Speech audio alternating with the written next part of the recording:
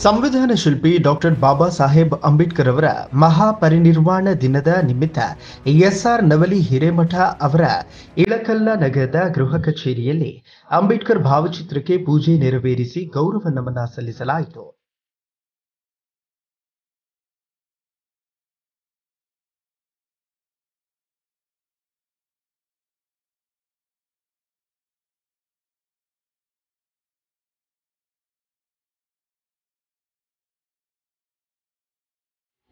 ನಾವು ಯಾವುದು ಕಾಯ್ದೆ ಅಥವಾ ಕಾನೂನಿನ ಅಡಿಯಲ್ಲಿ ಬದುಕಿದ್ದೀವಿ ಅಂತ ಹೇಳಿದ್ರೆ ಅದು ಡಾಕ್ಟರ್ ಬಾಬಾ ಸಾಹೇಬ್ ಅಂಬೇಡ್ಕರ್ ಅವರ ಬರೆದಂತ ಸಂವಿಧಾನ ಅಡಿಯಲ್ಲಿ ನಾವು ಇವತ್ತೆ ಎಲ್ಲ ಕೆಲಸಗಳನ್ನು ಮತ್ತು ನಮ್ಮ ಕರ್ತವ್ಯಗಳನ್ನು ನಾವು ಮಾಡುವಂತ ಇದಿದೆ ಬಾಬಾ ಸಾಹೇಬ್ ಅಂಬೇಡ್ಕರ್ ಅವರು ಒಂದು ಮಹಾರಾಷ್ಟ್ರದಾಗ ಮೊಹಾರ್ ಅಂತ ಒಂದು ಹಳ್ಳಿ ಒಳಗ ಹುಟ್ಟಿದಂಥವರು ಹಾಗೆ ಬಹಳ ಸ್ವಲ್ಪ ಬಡತನದಲ್ಲೇ ಹುಟ್ಟಿದಂಥವರು ಹಾಗೆ ಅಲ್ಲೇ ಅವಾಗ ಸಮಾಜದಲ್ಲಿ ಮುಂದುವರೆದವರು ಮತ್ತು ಹಿಂದುಳಿದವರು ಅಂತ ಬಹಳ ಪ್ರಭಾವಶಾಲಿಯಾಗಿ ಉಳಿದಿತ್ತು. ಆ ಒಂದು ವೇಳೆಯೊಳಗೆ ನಿಜವಾಗ್ಲೂ ಅವರು ಹೋರಾಟ ಮಾಡಿದ್ದು ನೋಡಿದ್ರೆ ಮತ್ತೆ ನನಗನ್ಸುತ್ತೆ, ಆ ಟೈಮ್ನಲ್ಲಿ ಇಷ್ಟೊಂದು ಶಾಣೆ ಆಗಿ ಅಥವಾ ಇಡೀ ಎಲ್ಲ ರಾಷ್ಟ್ರಗಳಿಗೆ ಅಡ್ಡಾಡಿ ಸಂವಿಧಾನವನ್ನು ಸ್ಟಡಿ ಮಾಡಿ ನಮ್ಮ ಸಂವಿಧಾನವನ್ನು ಬರ್ದಾರ ಅಂತ ಹೇಳಿದ್ರೆ ನಿಜವಾಗ್ಲೂ ಅವರೊಬ್ಬ ಬುದ್ಧಿಜೀವಿ ಅಥವಾ ಒಳ್ಳೆಯ ಶಾಣೆ ಇದ್ದರು ಅಂತ ಹೇಳಿ ನನ್ನ ಅನಿಸಿಕೆ.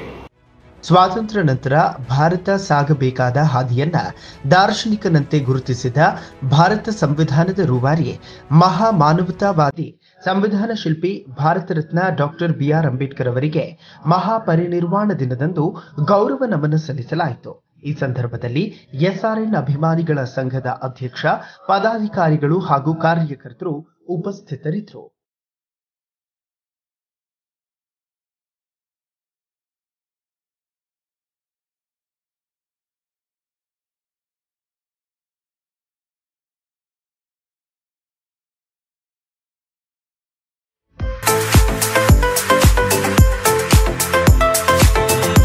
ಮುಧೋಳ ಜನರ ನೆಚ್ಚಿನ ಅರ್ಬನ್ ಟ್ರೆಂಡ್ಸ್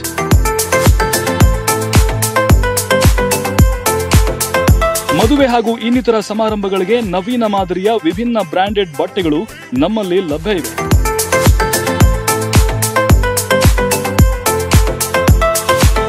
ಅಷ್ಟೇ ಅಲ್ಲದೆ ಅರ್ಬನ್ ಟ್ರೆಂಡ್ಸ್ನ ಇನ್ನೊಂದು ಮಳಿಗೆ urban sports ಪ್ರಾರಂಭಗೊಂಡಿದ್ದು T shirt printing, sports wear, school uniform, corporate uniform ಎಲ್ಲ ಬಗೆಯ ಸ್ಪೋರ್ಟ್ಸ್ ಐಟಮ್ಸ್ ಕೂಡ ಸಿಗುತ್ತವೆ. ಹಿಂದೆ ಭೇಟಿ ನೀಡಿ ಅರ್ಬನ್ ಟ್ರೆಂಡ್ಸ್ ಮತ್ತು urban sports, Lakkam complex, Yadavada circle, Lokapura road, Mudhol. Run TV news videos ನೋಡಲು ಸಬ್ಸ್ಕ್ರೈಬ್ ಮಾಡಿ, ಬೆಲ್ ಐಕಾನ್ ಪ್ರೆಸ್ ಮಾಡಿ.